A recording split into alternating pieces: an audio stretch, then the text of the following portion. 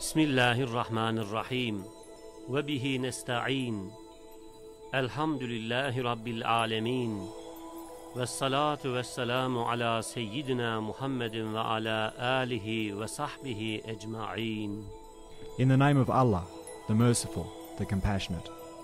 And from Him do we seek help.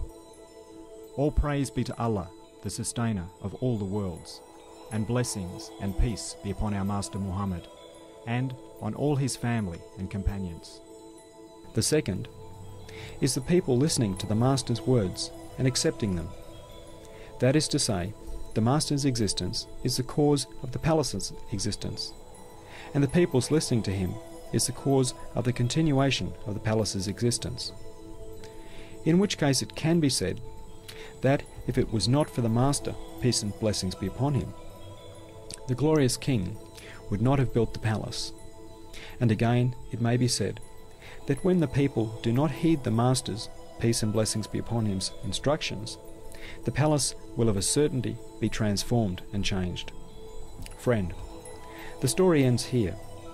If you have understood the meaning of the comparison, come and behold its reality. The palace is this world.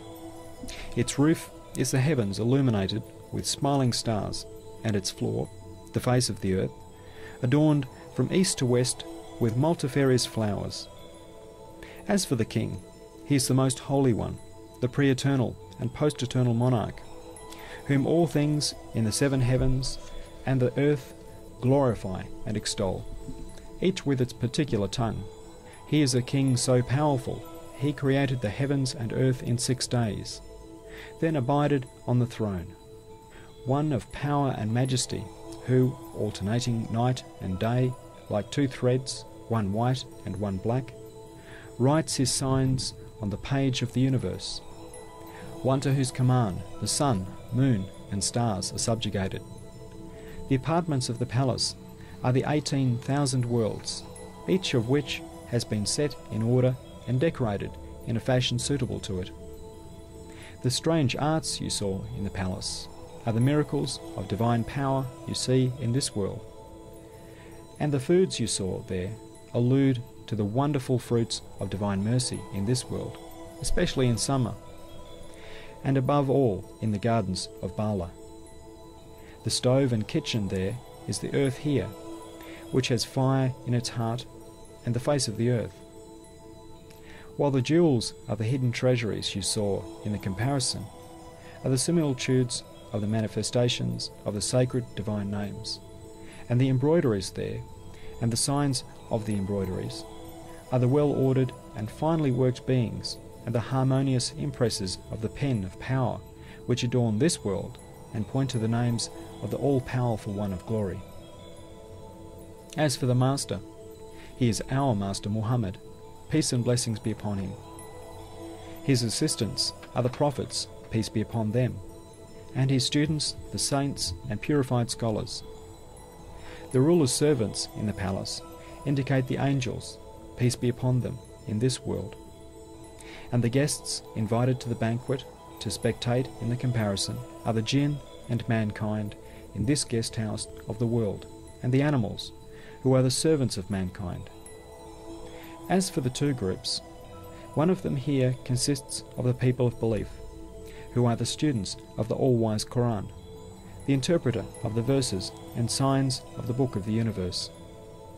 The other group are the people of unbelief and rebellion, who follow Satan and their evil commanding souls, deaf and dumb, like animals, or even lower. They form the group of the misguided, who recognize the life of this world only. First group. These are the felicitous and the good, who listen to the Master, the possessor of two wings.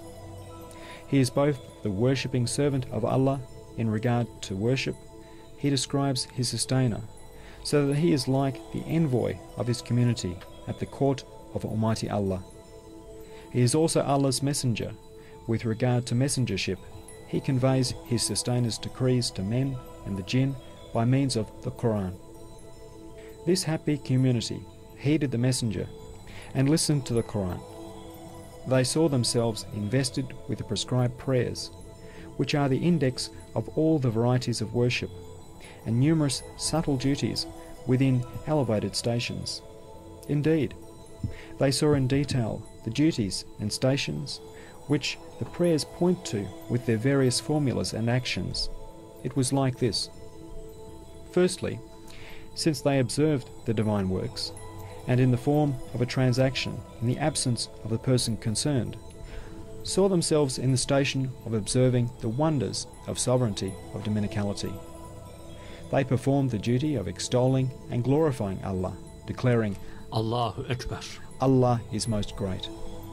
Secondly, through being seen in the station of the herald of his brilliant and wonderful works, which are the manifestations of the sacred divine names, exclaiming, Subhanallah walhamdulillah.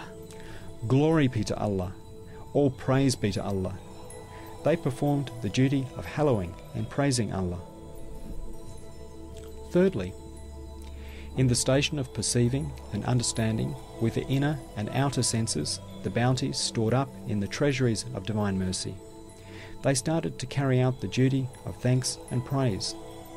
Fourthly, in the station of weighing up with the scales of their spiritual faculties the jewels in the treasuries of the divine names, they began the duty of praise and declaring Allah to be free of all fault. Fifthly, in the station of studying the Sustainer's missives, written with the pen of power on the plan of divine determining, they began the duty of contemplation and appreciation.